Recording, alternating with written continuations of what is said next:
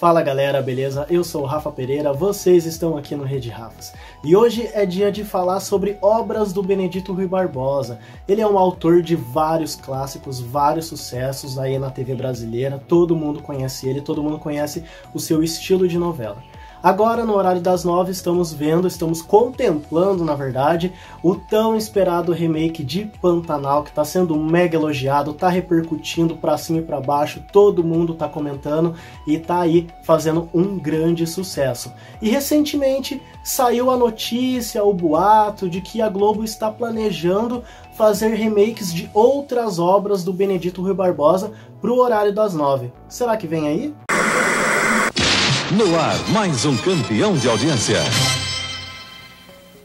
Antes de começar nosso bate-papo, aquele recadinho de sempre. Se você ainda não é inscrito, se inscreva aqui no canal e ative o sininho para receber todas as notificações. E caso você já seja inscrito, dá uma conferida, vê se o sininho está ativado em todos para você não perder nada do que rolar aqui no Rede Rafas. Pois é, o remake de Pantanal tá aí na telinha da Globo no horário das nove, tá fazendo o maior sucesso, e esse grande clássico de Benedito Rui Barbosa tá sendo adaptado pelo seu neto, o Bruno Luperi.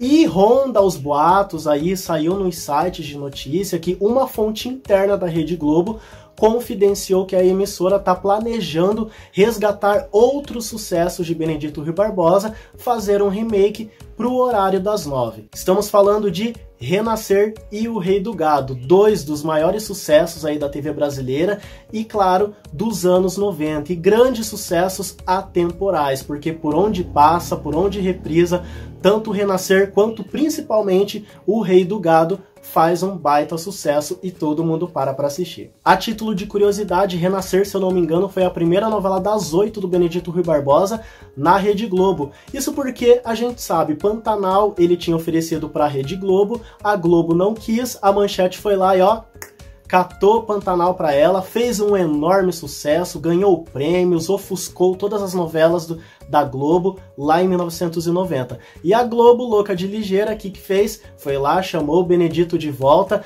e já carcou ele no principal horário de novelas da emissora e ele estreou Renascer. E Renascer foi um enorme sucesso lá em 1993, teve uma média geral aí de 60 pontos, uma das maiores dos anos 90 e repercutiu bastante, uma novela super elogiada, uma novela bem querida também por boa parte do público, por grande parte do público, na verdade. Muita gente se lembra com bastante carinho de Renascer, principalmente a sua primeira fase que alavancou o sucesso de Leonardo Vieira e Patrícia França, que fez o casal protagonista na primeira fase, arrebatou corações aí, enfim, Renascer, um dos maiores sucessos da TV brasileira. Eu particularmente não gosto de Renascer, eu gosto muito da primeira fase e do último capítulo, mas eu acho uma novela muito arrastada, uma novela com uma barriga enorme, uma história que chega a uma fase que parece que não anda, que não acontece nada. Mas essa é só a minha opinião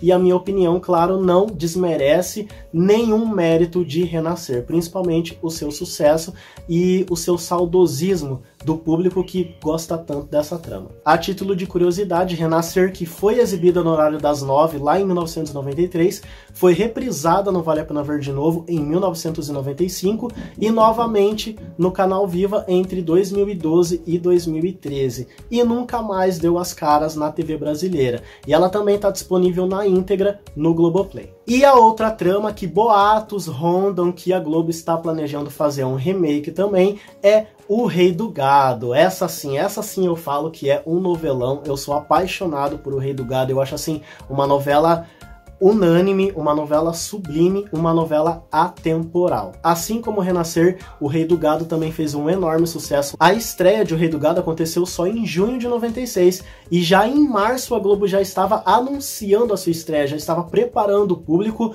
para uma história arrebatadora e emocionante que ia pintar no horário das oito. O público esperou, o público aguardou e foi isso que o público recebeu. Já na primeira fase, O Rei do Gado emocionou todo mundo, inclusive a primeira primeira fase, se eu não me engano, ganhou um prêmio internacional, acho que do Emmy, se eu não me engano. Se alguém souber a informação correta, me corrija aqui embaixo, mas eu tenho certeza que ela ganhou um prêmio internacional. Eu só não lembro qual que é. Enfim, a primeira fase arrebatou todo mundo e assim, gente, um elenco de primeira, né? Antônio Fagundes, Vera Fischer, Eva Vilma, Tarcísio Meira, nosso saudoso Tarcísio Meira e nossa saudosa Eva Vilma dando um show aí. Enfim, uma primeira fase para ninguém botar defeito. E depois veio a segunda fase, já no sétimo capítulo, e arrebatou mais ainda o público, uma história encantadora, tocou na ferida de temas importantíssimos. O Rei do Gado, para vocês terem noção, falava de tantos temas importantes para a sociedade que ela não aparecia só nas páginas de teledramaturgia e afins dos jornais ela aparecia nas páginas de política, para vocês terem noção. E foi esses e outros fatores, todo o sucesso, todo o fenômeno, o brilhantismo do elenco, as cenas marcantes, os temas atemporais, enfim, tudo isso que tornou O Rei do Gado um dos grandes clássicos, um dos grandes sucessos, não só da Rede Globo, como da televisão brasileira. Ao contrário de Renascer, O Rei do Gado já pintou outras vezes na telinha, mais vezes do que Renascer, né? Depois da sua exibição em 96, já em 99 ela foi reprisada no Vale a Pena Ver de novo, com grande sucesso, audiência altíssima em alguns capítulos, chegou a ultrapassar até a novela das nove da época, hein? Que era Suave Veneno, que a audiência tava lá embaixo. E em 2011 ela foi reprisada no canal Viva e logo em 2015 voltou no Vale a Pena Ver de novo, em comemoração aos 50 anos da Rede Globo. E o feito que ela fez no Vale a Pena Ver de novo, em 99, quase que foi repetido em 2015 também, que a Globo tava ali sofrendo com Babilônia no horário das nove e chegou um belo dia que Babilônia marcou 24 pontos e o Rei do Gado 22, ou seja, uma novela que lá em 2015 já estava com 18 anos, o Brasil parou 5 horas da tarde para assistir o Rei do Gado. E Babilônia todo mundo ó correu. Para você ver o poder de O Rei do Gado. E se caso você nunca assistiu O Rei do Gado e agora pintou a curiosidade, ela também está disponível no Globoplay, na sua versão original na íntegra e também na sua versão da reprise do Vale a Pena Ver de Novo em 2015. E a informação que eu trago é essa, ainda não tem nenhuma confirmação oficial da Rede Globo, são só boatos por enquanto, né? São só informações que uma certa fonte lá da equipe interna da Globo confidenciou para os sites de notícia e essa informação pipocou na internet e nas redes sociais. Eu vou deixar o link da notícia para vocês acompanharem aqui. E, segundo essa fonte interna da Rede Globo, os remakes estão previstos para entrarem no ar a partir de 2024 e, assim como o Pantanal, eles serão readaptados por Bruno Luperi, o neto do Benedito. E assim, se tratando de remake do Benedito Rui Barbosa, já é meio que uma coisa corriqueira, né? Porque nos anos 2000 a gente teve os remakes de grandes sucessos dele no horário 10 6, como Cabocla, que é um dos meus xodozinhos, eu amo Cabocla, teve Sim a Moça, teve Paraíso e teve um certo remake que muita gente prefere esquecer, que é Meu Pedacinho de Chão. Todas essas tramas foram adaptadas pelas irmãs do Benedito, não, pelas filhas do Benedito, perdão, e acho que Meu Pedacinho de Chão chegou a ter o dedo ali do Bruno Luperi também na colaboração. Então, meio que a gente é acostumado a ter remakes do Benedito Rui Barbosa, a ter suas obras readaptadas em novas versões para a TV brasileira. Só que eu fico imaginando Renascer e principalmente O Rei do Gado é aquele tipo de novela que ainda está muito forte na memória do público. Será que realmente vai dar certo esse remake. Quando se fala de O Rei do Gado, já vem a imagem do Antônio Fagundes como Bruno Mezenga, da, da Patrícia Pilar como Luana, do Raul Cortez principalmente. Então, assim, é uma história muito viva na memória do público, é uma história muito forte que o público se lembra de cabo a rabo quem assistiu. Foi reprisada recentemente.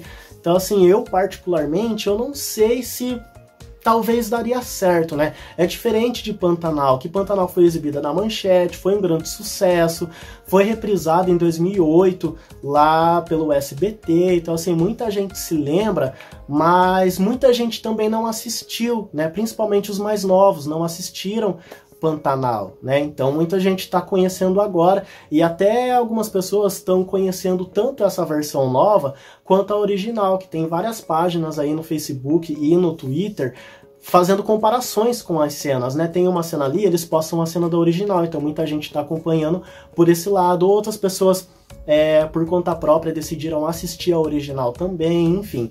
Então é uma coisa meio diferente de O Rei do Gado, que passou no Vale a Pena Ver de Novo recentemente, está disponível na íntegra no Globoplay, não só na íntegra, como na versão do Vale a Pena Ver de Novo também, assim como o Renascer, que tá lá. Então, eu não sei se, se daria certo. Talvez poderia dar, talvez poderia estar. Tá. Mas eu acho que teria muito mais comparações com a original do que Pantanal tá tendo. Principalmente o Rei do Gado, por todos esses fatores que eu já citei. E também dá a impressão, tava conversando com o Fatiello, dá meio que a impressão de preguiça da Globo, né? Meio que um comodismo misturado com preguiça. Eles estão vendo que Pantanal está fazendo sucesso, que é uma novela, um estilo de novela que hoje em dia não se faz mais, né? Uma novela rural, com umas coisas meio fantasiosas, né? A Maria Marruá virando onça. Tem bastante coisas lúdicas em Pantanal que hoje em dia é bem raro a gente ver nas novelas, principalmente novelas das nove. E Renascer é um tipo de novela que também brinca um pouco com essa coisa lúdica, né? A direção do Luiz Fernando Carvalho trazia bastante coisa do teatro, então foi isso que arrebatou o público lá em 1993. Esse é o diferencial dela. O Rei do Gado não tem lá essas coisas, né? Não tem nada de misticismo, nem nada, né? Que eu me lembre. Mas, querendo ou não, é um estilo de novela que hoje em dia tá bem raro na TV brasileira.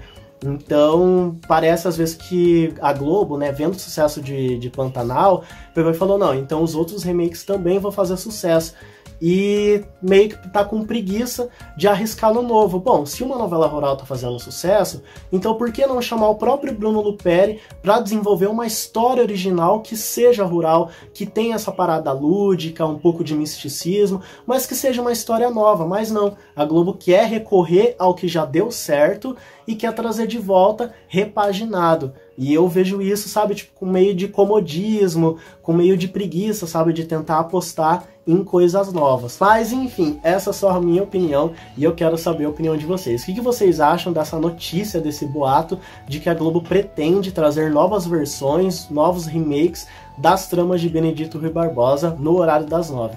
Comenta aqui embaixo. Comenta também se você assistiu Renascer, se você assistiu O Rei do Gado. A princípio nós temos um especial de O Rei do Gado, então dá uma conferida aqui na nossa playlist de especiais de novelas que tá lá, tá bem bonito, tá bem bacana de assistir. Curta esse vídeo, compartilha, manda pra bolha noveleira, manda pros amigos, manda pra família, para todo mundo ficar sabendo se essa notícia vai se oficializar ou não. Isso só o tempo vai dizer, até porque, como eu disse, esses remakes, se acontecerem, segundo a fonte interna lá da Globo, eles estão previstos para entrar no ar a partir de 2024. Então, o que nos resta é aguardar para ver. E eu vou ficando por aqui, mas antes, repetindo aquele recado do início do vídeo. Se você ainda não é inscrito, se inscreva aqui no canal e ative o sininho para receber todas as notificações. E caso você já seja inscrito, dá uma conferida, vê se o sininho está ativado em todos, para você não perder nada do que rolar aqui no Rede Ratas. Eu vou ficando por aqui. Um grande beijo, um grande abraço, fiquem com Deus e até lá.